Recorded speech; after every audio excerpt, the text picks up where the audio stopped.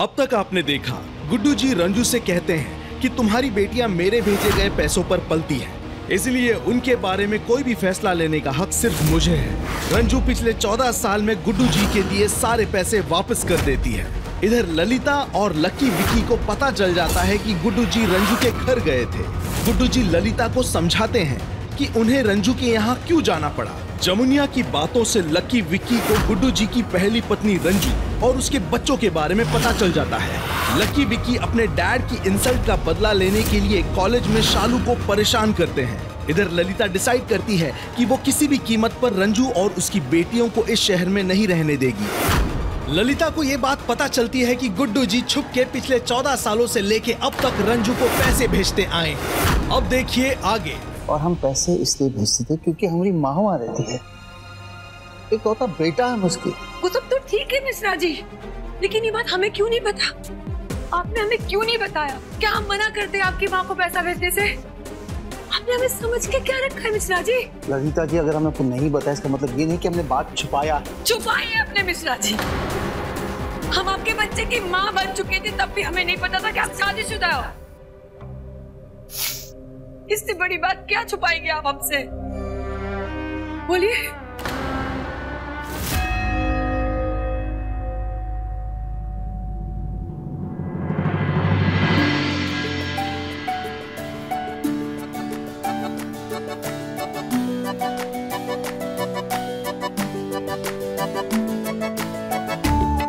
जी, आप तो हमारी घर की लक्ष्मी हैं। चाहते हैं कि प्रसाद अपने हाथों से चढ़ाइए। कहा है कि आज बड़ा इम्पोर्टेंट मीटिंग है। पंडित जी। जी। पूजा कर दीजिए। मैं माता रानी को प्रसाद चढ़ाता हूँ। तब तक आप लोग मंदिर की परिक्रमा कर लीजिए। फिर ये प्रसाद मैं आपको देता हूँ। चलो बेटे मंदिर का राउंड राउंड करते हैं। परिक्रमा है?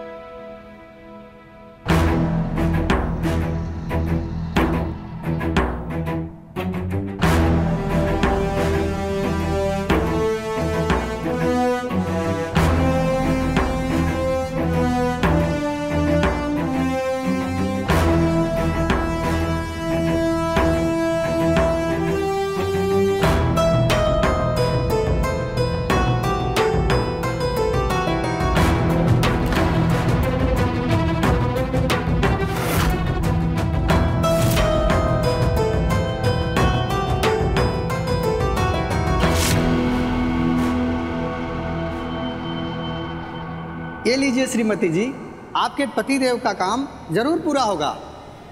शुक्रिया। पापा राउंड राउंड हो गया अब हम चलें?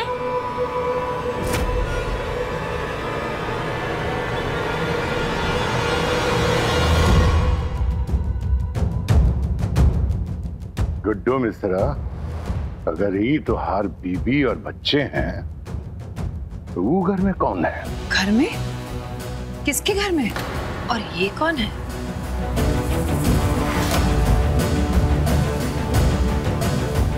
अच्छा। अब हम समझे कि तुम घर काहे नहीं आते हो। देखो गुड्डू मिश्रा।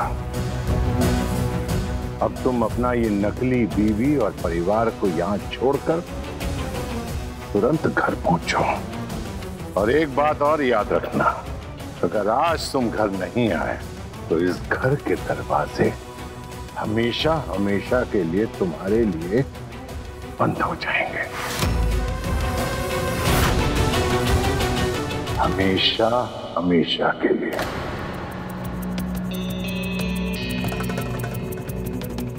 पंडित जी? जी।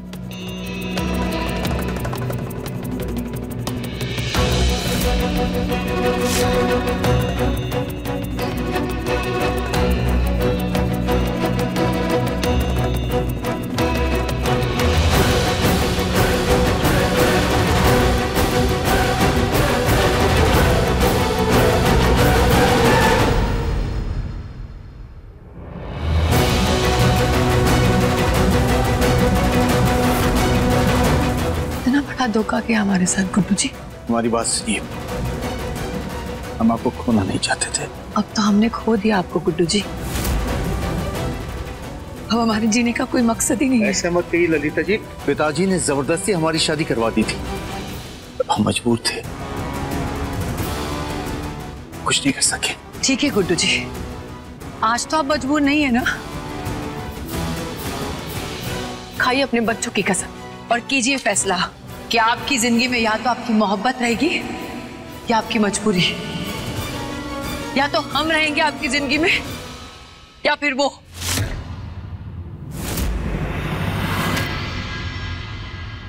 ललिता जी उस दिन बच्चों की कसम खा के हमने आपको चुना था। उस दिन के बाद हमने आपसे कुछ नहीं छुपाया है। कुछ नहीं। इसलिए तो रोज नए नए खुलासे हो रहे ना मिश्रा जी। उस औरत का इस शहर में आके रहना। उसकी बेटी की शादी का टंटा और ऊपर से लिफाफे।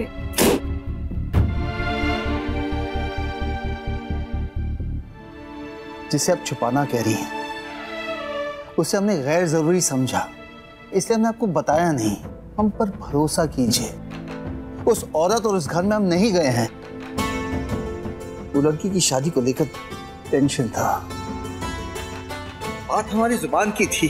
और जहाँ तक इन पैसों का सवाल है भुवन वहाँ जाता था पैसे देने।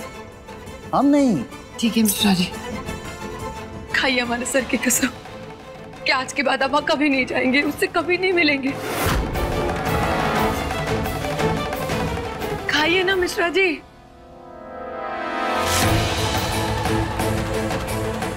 ललिता जी अगर हम आपकी कसम खाएँगे तो ऐसा लगेगा कि आपके कहने पर हम नहीं जा रहे हैं।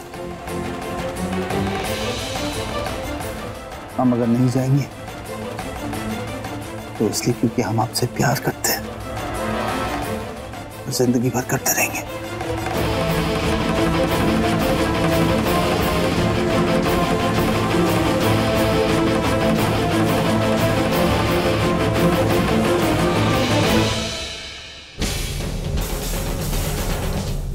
हमें लगा था कि इतने सालों में आप कभी उस दूसरी औरत के टच में नहीं रहे पर अभी कुछ दरारें दिखाई दे रही है और हम उसके ऊपर दरवाज़ा लगाकर बंद कर देंगे।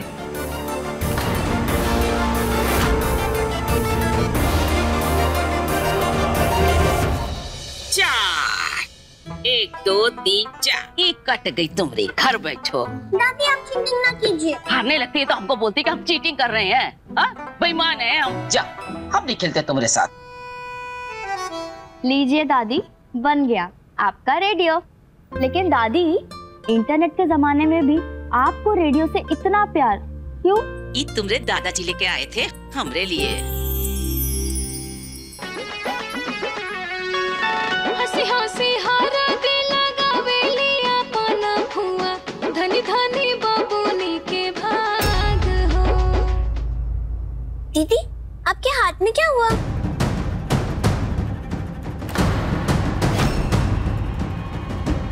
लगा ली ना चोट। और कितनी बार बोला है कि अखाड़ा वखाड़ा छोड़ दो। अब बताएगी कि कहाँ दगा फसाद करके आई है? दादी वो इस बार गलती हमारी है। हम स्कूटी चला रहे थे और हमसे एक्सीडेंट हो गया और उसे चोट लग गई। दिखाओ तो। ज़्यादा चोट आई है का?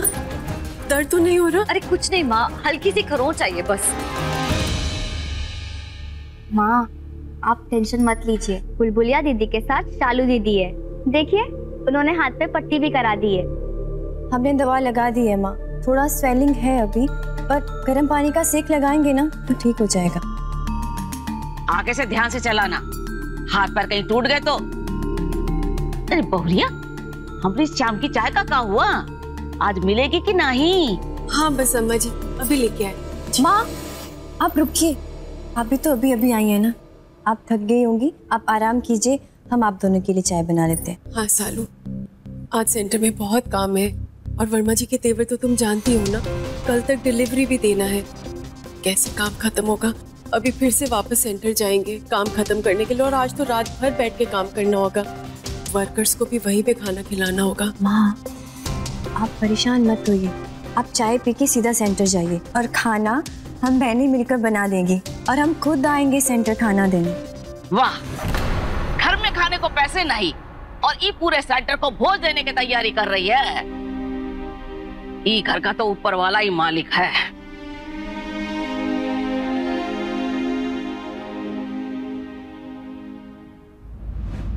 मम्मी मेरे दिमाग में एक आइडिया है। जिससे गुड्डू जी का पास ना उसके प्रेजेंट में कोई दखल नहीं देगा।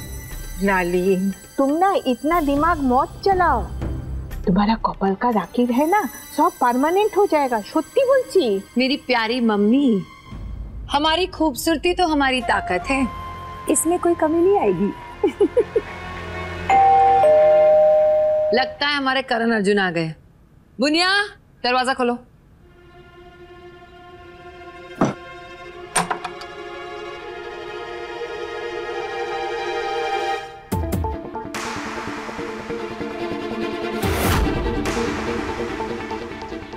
चोट कैसे लगी?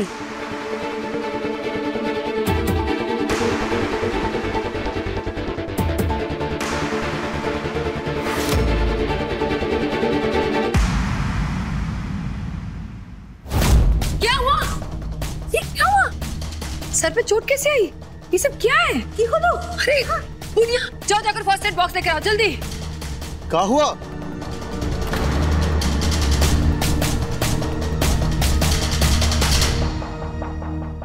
चोट कैसे आई है? अरे हुआ क्या? अरे कु- कुछ बताएगा कि नहीं? बाइक का एक्सीडेंट हुआ क्या? क्या हुआ?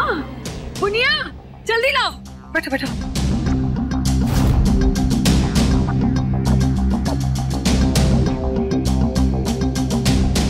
नानी आराम से करो अरे हम पूछे सब हुआ कैसे? मॉम ये सब कुछ है ना डैड की दूसरी वाइफ की बेटियों ने किया है।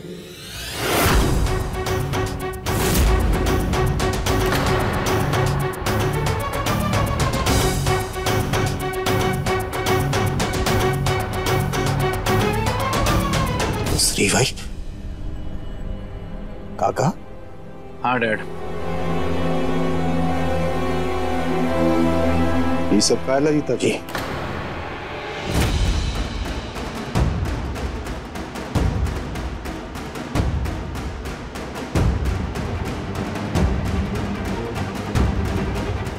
हम पूछ रहे हैं रंजू की फैमिली के बारे में इनको कैसे पता चला? वो एक्चुअली गुड्डू जी मम्मी से ना गलती से बात निकल गई थी। तो मुझे बच्चों को सच बताना पड़ा।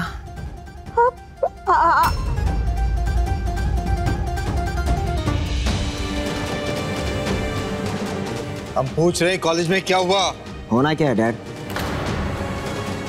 उन्हें पता नहीं कैसे पता चल गया कि हम आपके बेटे तो आकर हमसे उलझने लगी। वो तो हमने लड़की सोचकर हाथ नहीं उठाया पर उन्होंने उन्होंने हम पे हाथ भी उठाया और हमारी बाइक को धक्का भी दे दिया। बाबा को? ये लड़की लोग है कि जुंगली बिल्ली? इतने सारी दया नहीं है मन में क्या हाल किया बच्चा लोग का? लाली हम ना अभी पुलिस बुलाता है हाँ और ना बहुत करप्ट एफ़ करता है और फिर ना वो जुंगली बिल्ली को ना जेल भेजता है। हाँ डैड हमें उनके खिलाफ पुलिस कंप्लेंट करवाना है। एफआईआर करने की कोई ज़रूरत नहीं है।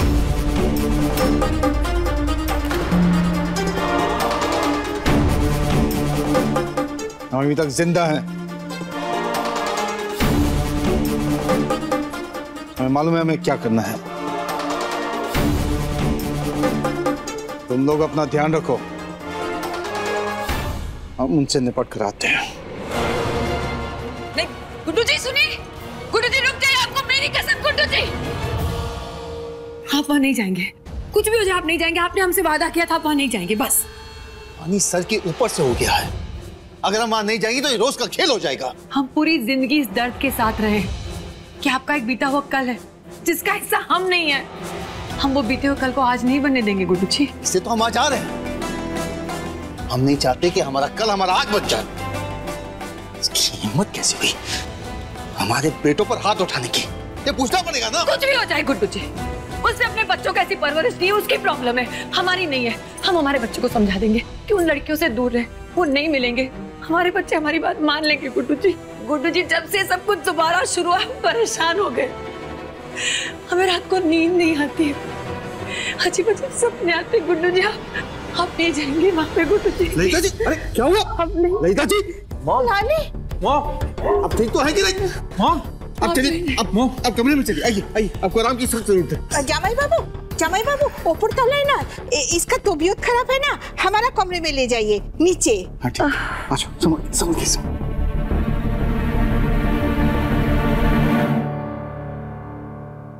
अरे बुनिया पानी लाओ पानी आप अपना ख्याल रखें हम तो आराम से ही जीना चाहते हैं गुड्डू जी बस आप अपना वादा रखिए। बच्चों को हम समझा देंगे। वो तो सब कुछ भूल जाएँगे। पर अगर आप वहाँ गए तो हम नहीं भूल पाएँगे। ठीक है। आप बस अपनी तबीयत और खराब मत कीजिए।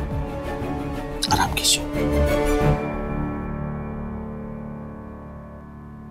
गुड्डू जी आपा नहीं जाएँगे।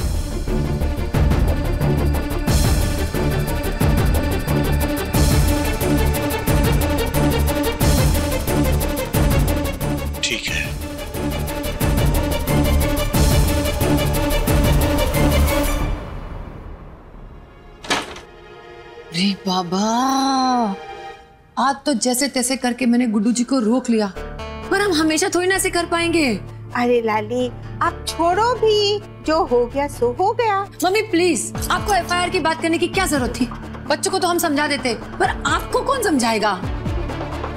अब हमें सच सच बताओ कि क्या हुआ था? मॉम हम तो शालू से डैड की इंसल्ट का बदला लेना चाहते थे। हमें बहुत ही मज़ा आ रहा था उसका इंसल्ट करने में। लेकिन पता नहीं कहाँ से उसकी वो पहलवान बहन बुलबुली आ गई और फिर चाहे तो हम भी जवाब दे सकते थे लेकिन लोगों ने हमें पकड़ लिया।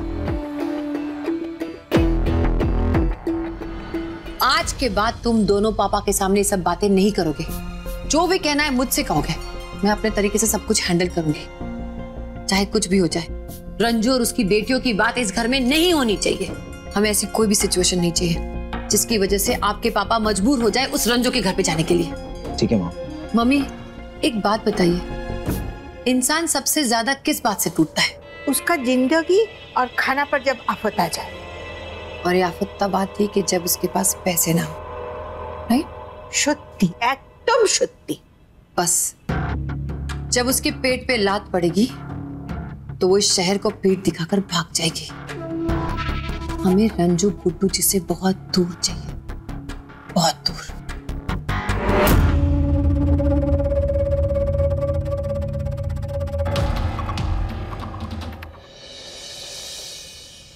माँ चलिए ना आपसे कुछ ज़रूरी बात करनी है। का हुआ सालू? आप बैठिए। जो स्कूटी के एक्सीडेंट की बात बताई थी ना वो सच नहीं है माँ। वो तो हमें दादी के सामने झूठ बोलना पड़ा क्योंकि को तो पता है ना दादी परेशान हो जाती। आई एम सो सॉरी तो फिर सच का है शालू अगर लड़ाई जीतनी हो तो सामने वालों को कमज़ोर साबित करो। फिर चाहे उसके लिए कुछ भी करना पड़े। ये दुनिया सिर्फ़ जीतने वालों को सर पे बिठाती है। तुम्हें हर लड़ाई अच्छे से लड़नी है। फिर उसमें या तो तुम जीतोगे या सीखोगे। लेकिन हारोगे कभी भी नहीं।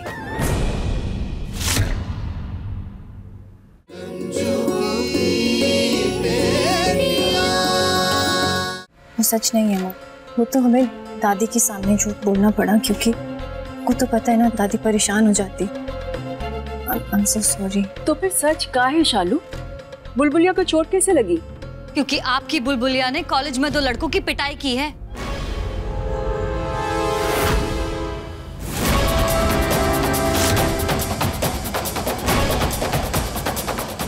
फालतू में लड़ाई झगड़ा नहीं करना है। कितने बार तुम्हें समझाया? नहीं समझ में आता है? माँ हम फालतू की लड़ाई नहीं किए हैं।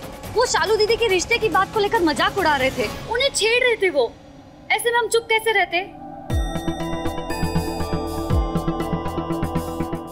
एक बात बताओ हमको शालू के रिश्ते की बात चली थी?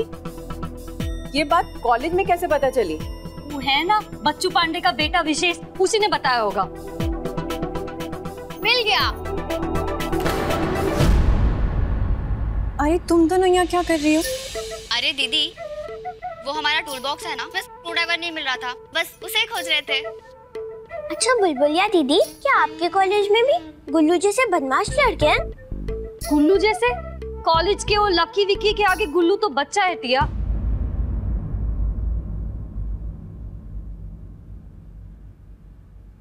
देखो बच्चों अच्छे बुरे लोग हर जगह होते हैं लेकिन हमें बात को नजरअंदाज करना है तब तक। जब तक बात हमारे आत्मसम्मान पर ना आ जाए। और आत्मसम्मान के लिए खड़े होने का मतलब ये नहीं कि हम किसी को चोट पहुँच जाए।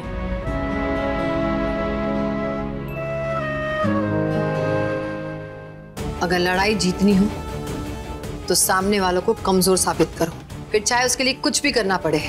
ये दुनिया सिर्फ़ जीतने वालों को सर पे बिठाती है। तुम्हें हर लड़ाई अच्छे से लड़नी है। फिर उसमें या तो तुम जीतोगे या सीखोगे। लेकिन हारोगे कभी भी नहीं।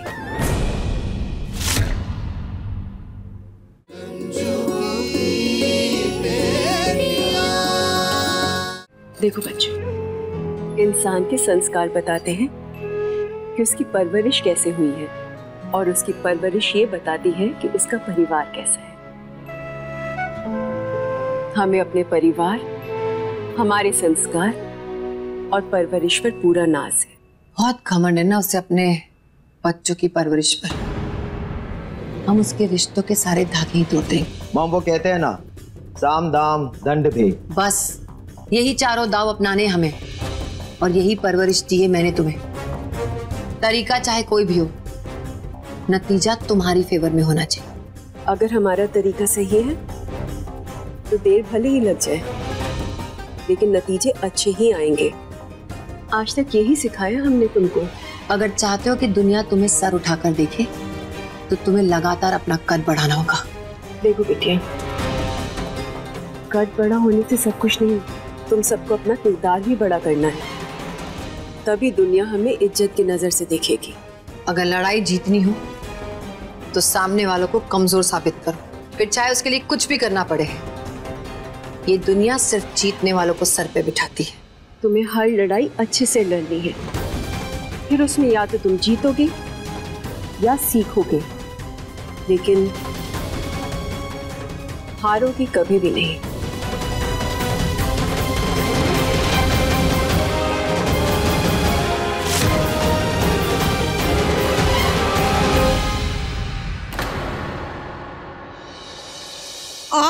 हमारा लाली अपना गहरा चाल का एक्शन शुरू करने वाला है। मम्मी लाली का एक्शन शुरू हो चुका है। बहुत काम बाकी है। चलो फटाफट निपटाते हैं। तुम लोग भी घर जाओ बहुत देर हो गया। ये बिजली को कहा हो गया? इस शहर के एक घर में भूकंप आने वाला है और वो भूकंप हम लाएँगे। दीदी पूरे मोहल्ले की लाइट गई है। वर्मा जी की डिलीवरी समय पे कैसे होगी? और हमारा लाली अपना गहरा चाल का एक्शन शुरू करने वाला है। मम्मी लाली का एक्शन शुरू हो चुका है। बहुत काम बाकी है। चलो फटाफट निपटाते हैं। तुम लोग भी घर जाओ बहुत देर हो गया। ये बिजली को कहा हो गया? इस शहर के एक घर में भूकंप आने वाला है और वो भूकंप हम लाएँगे। दीदी पूरे मोहल्ले की लाइट गई है। वर्मा जी की डिलीवरी समय पे कैसे होगी?